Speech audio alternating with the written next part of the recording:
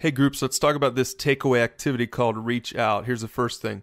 Everybody think about this question Who in my life would benefit from today's topic, from whatever we talked about today? And the next thing is this ask which video would help that person the most. You know, maybe something that you've talked about as a group, or maybe something else in the playlist, or even in the video library. And then just do this write down the name of the person in the video. Now, it might take a few minutes for everybody to do this sort of quietly on their own, but then as a group, talk about how you can reach out this week. Do you think the person would be glad you reached out? And if so, would it be best to share the video or talk in person? And if not, if you don't think the person's ready for you to reach out or help them out with that, what can you do in the meantime to be a good friend?